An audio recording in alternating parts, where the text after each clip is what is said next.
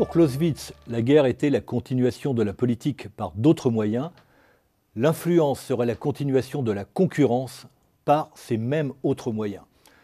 Dans la compétition économique que se livrent les nations et les entreprises, le pouvoir d'influence est en effet une arme décisive. Une arme pacifique, une arme qui ne tue pas, comme l'écrit Claude Revel, qui nous présente aujourd'hui son livre La France sous influence. Mais dans le monde globalisé, ce monde de l'Internet et de la société de l'information, l'influence permet de gagner des marchés. L'influence permet aussi de définir des normes, de déterminer des critères de classement et donc les critères de qualité. L'influence a aussi parfois pour objectif de rendre légal ce qui était illégal. Claude Revel, bonjour. Bonjour. Claude Revel, vous êtes une ancienne élève de l'École nationale d'administration, de la promotion Voltaire. C'est presque aujourd'hui un diplôme. Alors l'ENA, ce n'est pas un diplôme, on dit ancien élève, mais Voltaire, c'est presque un diplôme aujourd'hui. Vous avez une longue expérience dans les domaines de l'intelligence économique, mais aussi du, lobbying. Euh, bref, vous êtes une praticienne de l'influence. Je crois que vous avez votre propre cabinet, hein, et c'est un monde que vous connaissez de l'intérieur. Aujourd'hui, vous conseillez des groupes internationaux sur leur stratégie d'influence. Et vous êtes par ailleurs professeur dans une business school, Schema, qui a une longue tradition de, travail sur l'intelligence économique. Alors, Claude Revel, je me suis permis en introduction de reprendre vos propres expressions. Vous dites que l'influence, c'est une arme pacifique, mais une arme qui ne tue pas. Mais c'est une arme quand même. Ah oui, c'est devenu l'arme de la société mondialisée. Et il faut savoir euh, s'en servir. Alors, euh, l'influence, c'est deux choses, euh, pour, euh, simplifier et pour résumer. C'est d'une part la capacité de séduire, d'autre part la capacité de convaincre. Alors, en général, les deux sont liés dans une action d'influence. L'un s'adresse plus à l'affectif, à, l'émotion, etc. Puis l'autre s'adresse plus à la raison, et donc c'est l'argumentation. bon, Mais dans les deux cas. donc il y a une partie sur le rationnel et une, partie sur l'émotion. Une partie sur le rationnel et une partie sur, sur l'émotion, exactement. Et alors, euh, quand on fait une... Alors ça, c'est au niveau individuel, mais euh, on peut transposer exactement les mêmes choses au niveau collectif. Et c'est bien ce qui se passe actuellement, puisque toute la vie économique euh, repose sur des actions euh, d'influence de divers acteurs. il faut dire que les acteurs se sont multipliés. On n'a plus seulement euh, les États, on n'a plus seulement les organisations internationales, on a les organisations non gouvernementales, on a les think tanks, on a les instituts divers et variés, les grandes conférences de type Davos, etc. Donc il y a vraiment une multiplication des lieux d'influence et des acteurs de l'influence, mais qui tous jouent des jeux du type séduction, argumentation, séduction, conviction. D'accord, donc on, regardera concrètement qui sont les acteurs et quels sont les outils qui sont utilisés pour, euh, pour convaincre et séduire. Euh, vous dites donc que l'influence est aujourd'hui une arme décisive dans la compétition internationale. Oui. Pour une entreprise, par exemple, il ne suffit pas d'avoir le meilleur produit ou le moins cher. Non, il faut déjà savoir, il y a deux, elle est fondamentale au moins sur deux points pour une entreprise, l'influence. D'une part, parce qu'il euh, faut savoir expliquer, convaincre à toute une série euh, de gens auxquels euh, qui avant n'existaient pas, toutes les parties prenantes, euh, les actionnaires, les ONG, les syndicats, les États bien sûr, les organisations internationales dans lesquelles il faut toujours savoir expliquer un peu ce qu'on fait pour être crédible. Donc il y a cette notion de crédibilité qui est liée à l'influence qu'on peut avoir et qui est d'ailleurs notée. On vous note, c'est ce, ce qui est la notation extra-financière, c'est votre la capacité d'une entreprise à savoir affronter tous ces, tous ces nouveaux défis. Hein. Ça, c'est une première chose. Et la deuxième chose, c'est euh, par la préparation des règles et des normes. Et ça, c'est absolument fondamental. Euh, les entreprises sont touchées de plein fouet par ça, parce que la concurrence, elle s'exerce en premier lieu en amont, c'est-à-dire euh, la préparation du terrain de jeu. Concrètement, il faut... qu'on prépare le terrain de bataille pour rester dans la métaphore militaire à son avantage. Exactement. On, essaie de mettre en place sa propre règle du jeu. Et bien entendu, sans que les autres en soient informés, donc de manière au début un peu souterraine, de cette manière-là, évidemment, on joue beaucoup mieux quand on a sa propre règle du jeu. Alors j'imagine que dans un monde globalisé, toutes les organisations internationales, toutes les organisations qui définissent des normes internationales sont un, enjeu stratégique très important. Absolument. Alors les organisations internationales, bien entendu, mais aussi tout ce qui est euh, instituts normatifs euh, divers et variés. Alors on, pense toujours à l'ISO, mais il n'y a pas que ça. Il y a tous les instituts normatifs euh, sectoriels, spécialisés. Et puis il y a un troisième point qui sont maintenant tous les instituts, enfin toutes les, tout, tout, ce qui est normes de ce qu'on appelle de soft law et qui sont des normes de comportement, d'éthique et donc tous liés à la responsabilité sociale et, donc au développement durable. Et, ces normes-là sont faites par diverses euh, organisations. Vous parliez tout à l'heure au début de rendre légal ce qui était illégal. Moi, je dirais de rendre légitime ce qui n'est pas forcément légitime. Hmm. C'est-à-dire, euh, quand vous voyez des règles comme celle, de, euh, pour être concret, de accountability ou de la GRI, Global Reporting Initiative, qui sont des, des moitié ONG, moitié institut, qui font des règles sans arrêt en matière des normes, en matière d'éthique, de responsabilité sociale, c'est très bien, elles sont très bien. Mais enfin, quelle est la légitimité de ces gens-là, si vous voulez? Et pourtant, elles sont extrêmement suivies par et il faut les suivre pour avoir des bonnes notes. Donc influencer, c'est aussi, au niveau international, influencer la manière de penser. Exactement. L'American Way of Life, par exemple. Alors ça, on tombe dans la notion, alors au niveau des États, on tombe dans la notion de soft power, euh, et même la notion maintenant de public diplomacy. Parce qu'en fait, alors c'est deux choses un peu différentes. Je ne sais pas si on parlera peut-être après du soft power ou si on peut en parler tout de suite. Quand vous voulez. Bon, alors on va en parler tout de suite. Euh, c'est la conviction des opinions, toujours en amont. L'influence, c'est de l'amont, déjà. Ça, il faut. Euh, bon. Alors, on va essayer, un État va essayer de, euh, vaincre, parce que dans convaincre, il y a vaincre, de vaincre d'abord les cerveaux, en amont. Comment? Euh, Par des normes éducatives. l'attraction de ses propres systèmes d'éducation typiquement les États-Unis. Je ne sais pas si vous savez, mais en matière euh, universitaire ou d'école de commerce, la grande norme américaine, c'est la, la, norme mondiale, c'est la norme ACSB qui est une norme d'origine américaine. Hmm. D'où la bagarre des écoles de commerce euh, pour obtenir les, les agréments. sinon, on n'est rien. pour être dans la concurrence mondiale, il faut avoir cette norme. Qui a fait cette norme? Elle est d'origine américaine. Donc forcément avec des critères américains. Et le type de diplôme délivré? Et le type de diplôme. Alors après, l'attraction des universités, la, la gestion euh, utile et intelligente des réseaux ainsi constitués, parce qu'on fait venir des étudiants, mais ensuite ils repartent chez eux la plupart du temps. Ils forment des gens qui ont été en principe acquis et on les gère. On ne les laisse pas tomber dans la nature, on les gère. Euh, les normes de management aussi. Regardez dans les normes, vous qui êtes économiste, dans les normes de management, enfin les normes, je veux dire les systèmes de management, est-ce qu'il y en a un d'origine française? Non, quasiment pas, dans tout ce qui est enseigné. Bon, bref. Donc, euh, euh, le soft les, classements. Alors, les classements les fameux rankings. Les fameux rankings. Alors, les fameux rankings, ils ont une importance fondamentale et que probablement nous, Français, et je dirais Européens continentaux, euh, ne voyons pas euh, suffisamment. Parce que nous, on est habitués à ce que euh, les classements soient faits par le maître, l'État. Et puis le classement, c'est forcément neutre. C'est un classement, c'est que les critères, les critères sont, objectifs. Objectifs, exactement. On n'imagine pas. Or, c'est faux. Vous avez un certain nombre de rankings qui sont des outils d'influence majeurs puisqu'ils euh, classent bien ou pas bien, et donc ils donnent la règle à suivre ensuite. Alors, par exemple, euh, le fameux classement de Shanghai euh, sur les universités, hein, où le premier, je crois que c'est l'école des mines qui est 70e, enfin bon. Qui a influencé la politique française et la politique universitaire qui, française, du coup, influence, Qui du coup influence, parce que qu'est-ce qu'on veut faire? On veut exister au plan mondial, donc on veut, respect, on veut être bon dans le prochain classement. Donc on rentre dans la norme, dans ce qui est recommandé pour être premier, pour monter mais des normes qui ne sont pas élaborées pour nous faire gagner. Et des normes qui sont élaborées par les autres, comme on l'a dit tout à l'heure. C'est là que c'est tout à fait diabolique. Enfin, c'est n'est pas mm. diabolique du tout, en fait. C'est relativement simple dans l'ingénierie. Euh, mais il faut comprendre que ça existe et ensuite essayer de faire la même chose. Autre type de classement, euh, c'est là on revient à l'entreprise. Et, mais c'est toujours, on est toujours dans le soft power, c'est le, classement des entreprises. Euh, vous, pardon, encore pire, le classement des États. Euh, vous avez dû entendre, enfin tout le monde connaît le, rapport Doing Business de la Banque mhm. mondiale. Bon, euh, ce rapport est sorti en 2004 et il prétend euh, classer les États selon la capacité à faire des affaires, à y faire la bonne ou mauvaise capacité à y faire des affaires. La France évidemment est mal classée et quand on regarde les critères, ça n'est pas étonnant puisque ce sont des critères extrêmement techniques et très de, court terme. À combien de temps on a un permis de construire, en combien de temps on a un permis d'ouvrir une entreprise, etc. Bon. Et les auteurs, on n'a pas le temps de, de se tendre là-dessus, mais disons qu'il est clairement euh, dit, euh, c'est pas du tout, euh, il n'y a pas besoin de chercher un, complot, ils l'écrivent dans les introductions. Les auteurs de ce classement disent clairement qu'ils veulent montrer que le droit est un facteur économique tout à fait important et que dans le droit romain, qui est le nôtre, fondé sur les principes et sur une, justice importante, un, État important, l'efficacité économique est moindre. Ils veulent montrer ça. Ils le disent, nos critères le montrent, et c'est ce que c'est des, bon, des économistes dits de, l'école de, de, Harvard. Bon, donc on a des critères qui sont a priori des critères qui sont contre notre manière de voir à nous. Et nous, qu'est-ce qu'on fait là-dessus?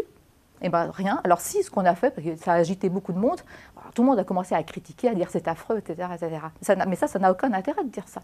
Ce qu'il faut, c'est essayer d'entrer dans soit de faire son propre classement, euh, soit d'entrer dans le classement qui existe et d'essayer de le modifier. Alors, euh, si on a le temps, je pourrais vous parler de ce qu'on a essayé de faire. Moi, je suis aussi conseillère du commerce extérieur de la France. On a essayé de travailler sur la question. On a travaillé, on a fait un rapport en français et en anglais sur les critères qu'on pourrait rajouter à la Banque mondiale, donc sans s'opposer, si vous voulez, en disant vos critères sont bien, mais incomplets. On le, vous propose. Le, BABA de la stratégie, c'est de définir son propre terrain de bataille et d'amener les autres sur son propre terrain. de C'est le BABA de la stratégie, de définir son propre terrain de bataille, et puis que quand on est, quand on est faible, ce qui est notre euh, situation aujourd'hui, on a une relation du faible au fort, on ne peut pas attaquer frontalement, donc c'est inutile d'aller dire c'est mal, euh, euh, c'est affreux, etc. Ça ne sert à rien. Il faut essayer soit d'avoir nos propres outils, d'élaborer peu à peu nos propres outils, les mêmes, mais faits par nous, soit d'entrer dans ce qui existe et d'essayer de les modifier de l'intérieur. Hmm. Si on revient aux aspects géostratégiques et militaires et qu'on fait le, parallèle, vous avez évoqué le problème du, soft power. Bon, aujourd'hui, financer euh, une armée, euh, comme nous ne sommes pas parvenus à faire une armée européenne, euh, le poids des dépenses d'armement en France sont beaucoup plus faibles que celles des États-Unis. Le soft power peut être une solution de rechange. Oui, mais alors à ce moment-là, un soft power européen. Hein. Euh, je pense que. C'est difficile dans la conjoncture actuelle. C'est difficile dans la conjoncture actuelle, effectivement. Mais on peut très bien. Euh, moi, j'ai toujours été d'avis euh, au niveau européen d'essayer de commencer par des coopérations renforcées, c'est-à-dire des groupes de pays qui vont travailler sur, sur des sujets précis. Bon, voilà. Et c'est vrai que pour, avoir, pour faire du soft power, il faut quand même avoir des messages communs et un mmh. contenu commun. Donc, si vous voulez, on peut travailler déjà, nous, sur notre propre soft power, parce qu'on a un, un capital culturel, un capital historique, etc., qui existe, même si on a une image très dégradée, il ne faut, pas se, le cacher. Mais quand même, on a quand même des, des restes de, très bonne qualité et sur lesquels on peut travailler. Mais le soft power, pardon. Non, non, euh, je ne voulais pas vous interrompre. On, reviendra sur cette question de, la position de la France euh, dans l'influence internationale. quand on parle de l'influence, on pense aussi à ces, à ces dérives. Hein. On pense manipulation, désinformation, euh, rumeurs. Oui ça existe quand même. Bien sûr que ça existe. Euh, je, pense à l'affaire euh, d'espionnage chez Renault. Oui, alors là, c'est un cas. Euh, enfin, je, bon, je ne le connais pas, je n'ai pas été à, l'intérieur, donc c'est, ce que je peux dire, c'est vu de l'extérieur. Mais vu de l'extérieur, cette affaire réunit absolument tous les éléments. on, a le, on, a le, sentiment qu'il y a eu des manipulations à tous les niveaux, y compris internes. on a le sentiment qu'il y a eu une désinformation. Aussi L'influence, ça sert à déstabiliser aussi. Ah, ça peut servir à déstabiliser, bien entendu. Mais enfin, moi, je pense qu'on peut utiliser l'influence euh, de manière tout à fait euh, éthique et, légitime. Hein, euh, mais bon, là, en l'occurrence, vous parlez de Renault. Clairement, il y a eu des opérations d'influence, disons, utilisant la désinformation et la manipulation, c'est clair. Manipuler quelqu'un. Mais il ne faut pas être naïf, aussi bien dans la compétition des entreprises que dans la compétition des États la manipulation, la déstabilisation, ça, ça existe. Exactement, ça existe. Et c'est pour ça qu'il faut absolument que tous les décideurs soient armés d'un minimum de base d'intelligence économique. Parce que l'influence, c'est le dernier volet de l'intelligence économique. Mais avant ça, il faut savoir décrypter l'information, il faut savoir veiller, c'est-à-dire euh, être en permanence en alerte sur toutes les les opérations justement de menaces, les, déstabilisations qui peuvent être euh, contre vous, et ensuite seulement on peut faire de l'influence. Donc vous avez parfaitement raison, ça existe. Euh, moi, je ne préconise pas de le faire. Je pense qu'on peut très bien faire de l'influence sans manipulation. Seulement, d'autres font de la manipulation et il faut savoir, euh, il faut savoir alerter, décrypter, etc. Et ça, on ne le sait pas. Mmh.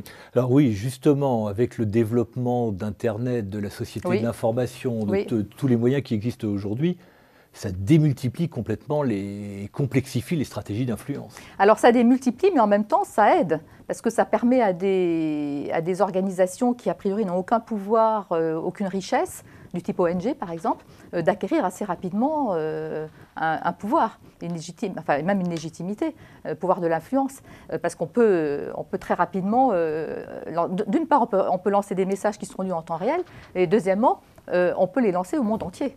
Euh, tout de suite. Euh, Mais on peut diffuser des rapports, enfin c'est quelque chose qu'on connaît bien euh, à Xerfi, quand nous traitons l'information, on diffuse des rapports qu'on retrouve sur Internet et tout le monde se sert de, ces rapports. Et ces rapports sont en fait pour 95% parfois, je pense à certains secteurs que nous avons traités, de la désinformation. Oui, oui, et c'est pour ça. Et une des difficultés, c'est de traiter l'information pour séparer le bon grain de livret. C'est exactement ça. L'intelligence économique, c'est ça. C'est pas du tout faire des opérations euh, louches, etc. C'est pas, pas de l'espionnage. C'est pas de l'espionnage du tout. Vous avez, vous avez donné la bonne définition. L'intelligence économique, c'est savoir traiter l'information. C'est la première chose. Alors ça paraît facile et c'est la chose la plus difficile qui soit. Savoir, comme vous avez dit, décrypter le vrai du faux, euh, valider, trier, etc. Et ça, tout le monde devrait savoir le faire. Et même moi, alors, vous savez peut-être que euh, ça, quand même, on a réussi quand même à force d'influence justement à ce que euh, le ministère de l'enseignement supérieur euh, lance, une lance un, un, projet de comment dire, d'enseignement d'intelligence économique minimale dans tout l'enseignement supérieur. Ça, va, donc on a, commence avec 30, 30, établissements pilotes, dont Schema Business School cette année. Et ça, normalement, tous les, établissements de France devraient y passer, de manière qu'aucun étudiant, fut-il ingénieur, juriste, tout ce que vous voulez, ne soit sans un minimum de capacité de décryptage de l'information à la sortie de son cursus universitaire. C'est très important. Je voulais dire à ce propos que euh, Axerfi, où nous, réalisons des centaines de rapports par an, nous voyons bien que sur certains secteurs euh, sensibles, lorsque nous regardons sur les bases de données, lorsque nous faisons des recherches sur Google, un pourcentage très élevé de rapports ou d'informations sont là pour faire du lobbying, pour faire pression, et on regarde toujours quelle est l'origine de ces rapports. Voilà. Alors, la première et, chose... et, souvent, l'information pertinente, c'est 5% de l'information. C'est vrai, mais c'est pour ça qu'il faut effectivement toujours regarder quel est l'auteur du rapport et, quel est son objectif, quelle est sa stratégie. Mais là, vous touchez un point essentiel aussi, qui est celui de comment se fait la décision publique. C'est pour ça qu'il y a tous ces rapports. La décision publique aujourd'hui, qu'elle soit en France ou qu'elle soit en Europe, enfin, je veux dire à, Bruxelles ou au Parlement européen, ou qu'elle soit euh, dans les organisations internationales mondiales, elle se fait sur la base du lobbying.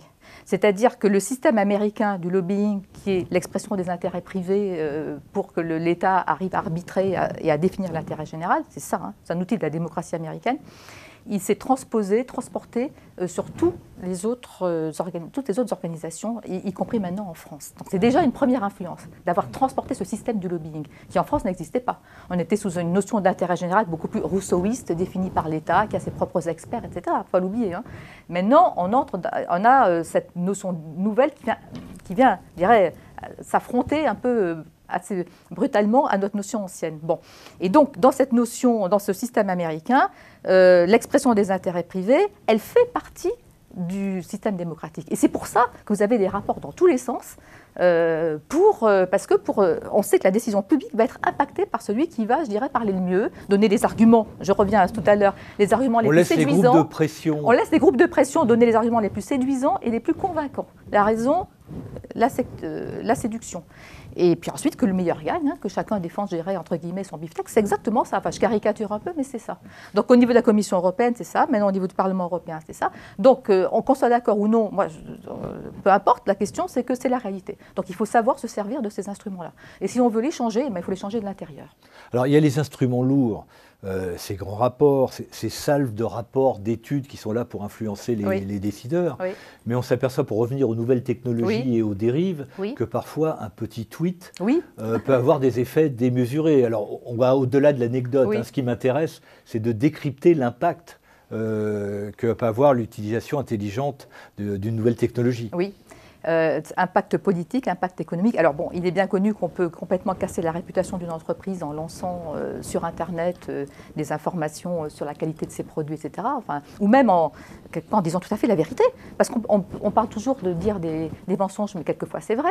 Nike, par exemple, qui, vous savez, qui avait été l'objet d'un boycott sur Internet, c'est il y a longtemps, mais c'était bon, c'est parce que, bah parce que réellement, il faisait travailler des, enfants on a l'exemple exactement contraire que j'aime bien présenter, c'est celui d'Apple qui a réussi à maintenir une image d'extrême sympathie alors que les conditions de travail chez les sous-traitants d'Apple sont épouvantables. Parce que Apple est un... Bon, D'abord, euh, vous le dites à la fin, les conditions sont épouvantables. Donc finalement, ça a quand même fini par sortir. Ça, c'est quand même un des éléments intéressants. Mais les gens n'y sont pas attentifs. C'est déjà un élément intéressant. Il y a une série d'articles dans le New York Times qui, a, été très peu repris en France. Je ne suis pas sûre que les gens ne sont pas attentifs. Ça, je ne suis pas sûre. En tout cas, ça, finit par sortir. Ça, c'est des, un des bons aspects du Web 2, c'est que tout finit par sortir un jour, mhm. y compris des mensonges. Mais les vérités finissent aussi par sortir. Bon. Deuxièmement, euh, Google, c'est un tel géant, mais vous savez que, enfin, j'en parle un peu, dans que Google mène des actions de concert avec le, le département d'État américain. Enfin, c'est plus, beaucoup plus qu'une entreprise maintenant. Mais il, il y a une grande naïveté d'ailleurs de la part des Français sur l'utilisation des Google est un, Google est un acteur politique majeur dans le monde et il travaille pour l'instant de conserve avec le département d'État américain. Une des questions que se posent d'ailleurs les Américains, Joseph Nye, dit Et si Google un jour veut travailler contre les États-Unis, qu'est-ce qui va se passer? Il est, tellement, il est tellement puissant. Euh, il mène des actions, vous avez vu, de, euh, sur les repentis, sur les les criminels repentis avec le département d'État pour essayer d'éradiquer le terrorisme Google. Hein. Mais ils le disent, ils le disent. Bon, voilà. Alors concrètement, en, quelques mots, concrètement, comment mène-t-on euh, une action, une stratégie d'influence Quels sont les outils concrets? Alors, on, parle d'une entreprise ou on parle. Alors, parlons d'une entreprise, si vous, c'est comme vous voulez. Parce que, bon, cela dit, les instruments sont un peu les mêmes. Comment on influence l'opinion? Comment on influence l'opinion? D'abord, on influence en. d'abord, la première chose, c'est qu'est-ce qu'on veut faire? Il faut d'abord avoir une stratégie, une priorité. Crois que c'est ce qui manque à l'État français. Il faut, savoir sur quoi on veut influencer. On n'influence pas en l'air comme ça. Quand on dit on mener une politique de rayonnement culturel, ou pas, non, il faut savoir sur, il faut, déterminer quelques grands secteurs prioritaires sur lesquels on veut faire de l'influence. Une fois qu'on les a déterminés, euh, il faut euh, agir en amont. Alors, il faut d'abord identifier, c'est là qu'intervient l'intelligence économique, euh, quels sont tous les acteurs qui agissent déjà sur ce secteur. Qui? Tous les ONG, tous, tous, tous, en visible, en invisible. Les ONG, les syndicats, les, think tanks, euh, les groupes de pression les clubs de on n'a pas parlé, mais tous les clubs de pensée, tout ça. Bon, euh, donc vraiment un, mapping, mais quand je dis un mapping, c'est pas seulement avec des outils techniques, avec aussi des sources humaines. Hein. Bon, donc euh, on, vraiment, on essaie d'avoir une vision très claire du terrain de jeu. Ensuite, on essaie d'identifier quels sont les acteurs clés là-dedans, parce que tous ne sont pas importants. Et on va axer son influence sur les acteurs clés. alors, les acteurs clés, ça peut être aussi euh, ça dépend des cas. Quelquefois, il peut être utile effectivement d'avoir une action sur le web, tous azimuts, pour, euh, parce qu'on est dans un secteur euh, qui, sur lequel il faut comment dire, influencer le maximum de monde. Quelquefois, c'est le contraire. Il faut au contraire agir en, gérer en souterrain et ce n'est pas la peine d'aller s'exposer sur le web. Ça dépend, a pas de. C'est du sur-mesure. Hein. Bon, et une fois qu'on a fait ça, on travaille son argumentation. Comment on va faire? Comment on va, Quels sont les éléments clés qui vont permettre de faire basculer l'opinion? Par quoi actuellement est-elle impactée? Alors toujours avec cette idée, séduire et argument rationnel. Toujours avec l'idée de séduire construire et de la, Construire de la pensée. Voilà. Construire des systèmes de pensée. Voilà. il faut parfois des moyens puissants. Quand on compare les think tanks français aux think tanks américains, sur ce plan, oui, enfin, il faut des moyens puissants. Il faut aussi, oui, il faut, c'est-à-dire, il faut des gens euh, qui soient euh, capables de produire de la pensée opérationnelle. La force de frappe, effectivement, des think tanks américains, elle est due au fait que, alors, effectivement, ils sont financés, euh, donc on paye des gens pour penser c'est tout. Et on les paye bien. Et deuxièmement, euh, surtout quand même, ils produisent, ils produisent ce que j'appelle du concept opérationnel. C'est bien de penser, tout à fait. Bon, mais il faut, il faut avoir une pensée qui puisse ensuite se décliner. Les exemples typiques, où a été créé le concept clé majeur aujourd'hui qui permet toutes les déclinaisons possibles imaginables du développement durable? Du développement durable sont sortis la responsabilité sociale euh, des entreprises, la transparence, aujourd'hui le whistleblowing, toutes les normes éthiques, tout ça, bon voilà, il est sorti d'où ce concept mais, mais ces think tanks américains, ils ont une puissance, enfin une force de frappe financière en termes de budget. C'est 100 fois, j'ai regardé les chiffres, c'est 100 fois plus important que les principaux think tanks français. Oui, mais écoutez, là, honnêtement, je crois que vraiment l'argument financier, je ne crois pas qu'il soit euh, pertinent. Parce que je pense que, euh, avec, justement, avec les armes du web qu'on a aujourd'hui, on peut quand même assez facilement euh, se faire voir, se faire valoir, si vous voulez. Vous avez des, ONG, je dirais, un peu sorties de rien, qui tout de suite ont un impact. Regardez, on n'a pas parlé des, des, aspects financiers. Bon, il y a euh, c'est un exemple, mais qui montre, ce que je veux dire. Euh, il y a un mouvement, une ONG, ça comme vous voulez, qui s'appelle Finance Watch, qui s'est créé il y a quelques mois euh, en, Union européenne, à, Bruxelles, pour lutter contre les exagérations des lobbies bancaires, en disant il n'y a qu'une seule voix qui est toujours entendue auprès de la Commission, c'est le lobby bancaire. Donc on va créer quelque chose qui rassemblera d'autres gens que des banques pour parler de finances, mais avec des vrais experts pour dire des banques. Ben, ça s'est créé. Et bon, euh, ça quand même, sur le web, c'est puissant. Hein. Moi, je l'ai découvert euh, un peu par hasard parce que je lis un peu des choses dans ce site-là. Bon, tout de suite, je me suis inscrite d'ailleurs, je trouve ça très intéressant. Bon, Finance Watch commence à avoir un vrai poids. Elle s'est créée il y a six mois par son action sur le web qui est lue un peu partout. Elle parle en anglais, bien sûr, euh, elle commence à avoir un, vrai poids auprès de la Commission européenne qui sait qu'elle commence à devenir représentative. Voilà. Donc je veux dire par là que le fait de dire on n'a pas beaucoup d'argent, etc., oui, mais oui et non. Hein. Euh, on peut créer. Ce dont on manque, c'est surtout, euh, dans, je crois, d'entreprises, de, décideurs qui soient privés ou qui soient publics, qui accordent de l'importance à la pensée. Ils considèrent que la pensée, c'est inutile. Vous avez, enfin, je caricature, il y en a, il y en a qui ne sont pas comme ça, mais enfin, majoritairement, ils sont comme ça.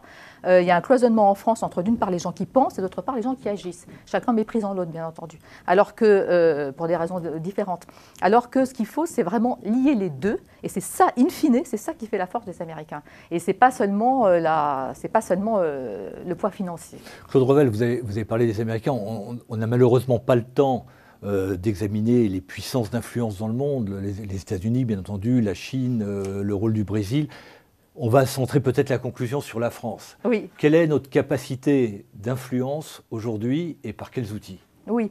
Alors, juste, justement, vous m'avez euh, coupé mes deux secondes, juste avant de, que je termine en disant, et d'ailleurs, la Chine vient de s'en rendre compte, puisque les think tanks chinois sont, alors là, hyper financés, et ils se rendent compte qu'il faut développer un soft power. Donc, tout ce que je dis, c'est pas que les Américains, c'est aussi les Chinois. Alors, nous, les Chinois le font, les Brésiliens, le Qatar, etc.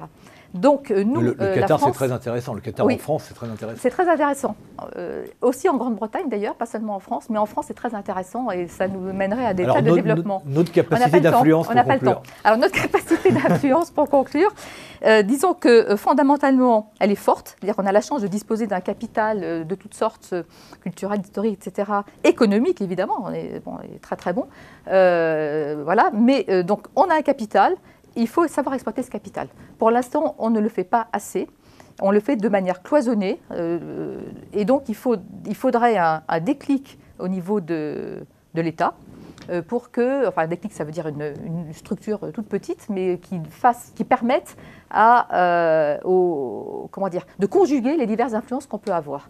Alors, il nous reste un réseau diplomatique exceptionnel dans le monde. Alors, alors donc d'abord, il faut définir des priorités. Moi, je suis pour qu'on fasse comme le Brésil avait fait il y a 30 ans, 30 priorités, qui sont à la fois publiques et privées, des intérêts privés et des intérêts publics ensemble, et on travaille, on influence le monde, enfin les règles du jeu sur ces priorités. Bon, et ensuite, le réseau diplomatique, euh, alors là, euh, non. Enfin, on a un réseau diplomatique avec des gens de très grande qualité, mais hélas, euh, il a quand même été singulièrement amputé par les, politiques des années précédentes.